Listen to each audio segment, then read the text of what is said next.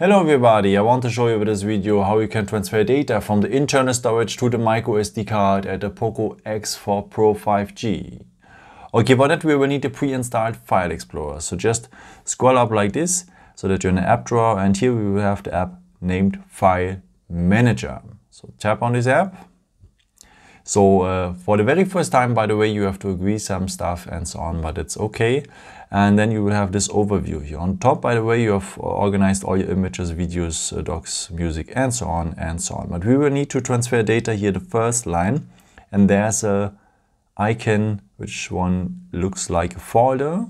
So tap on the icon, on the folder icon, and then you will have this view here, this overview for your internal storage. These are all your folders here uh, for the internal storage.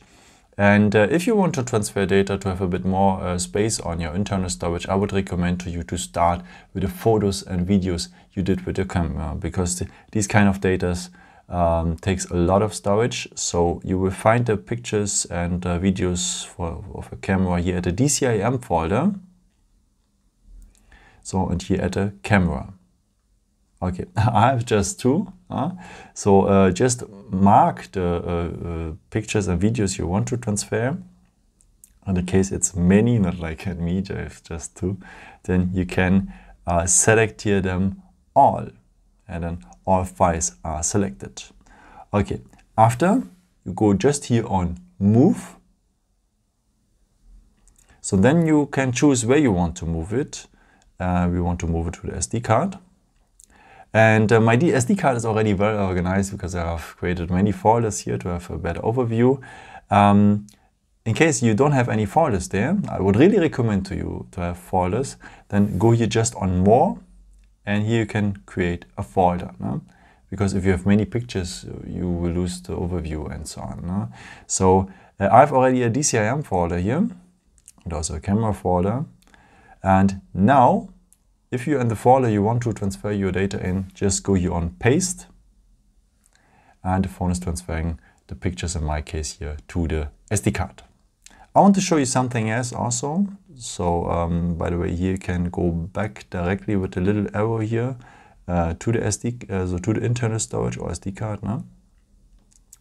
Because uh, the same thing we have done now with the files, you can do it also with folders. No? If you long press a folder, like the DCM folder here, then I have marked the folder as well. You can go also on audiobooks and so on, or documents and so on. And you can transfer folder the same way. No? You can move them to the SD card with. But please take care if you select the folder, uh, be sure that there, this folder only contains uh, data like uh, music or photos, videos, documents and so on and no operating system data like here in the MIUI folder because uh, you can damage the operating system with. Yeah, then let me show you something else as well because um, let's go to the camera here. And then let's go to the hamburger menu here, so the three lines, then to the settings.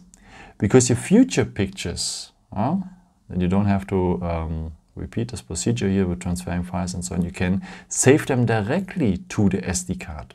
Uh, so if you select this one here, save to SD card, at the camera settings, then your future pictures and videos goes directly to the SD card and you don't have to do the transfer stuff all the time.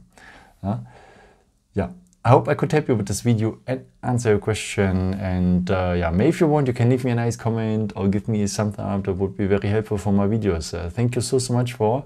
And yeah, I've created also some other videos if you're interested in, or maybe just subscribe me if you haven't done it before. Thank you so, so much for your support. And uh, yeah, maybe until next time. Ciao.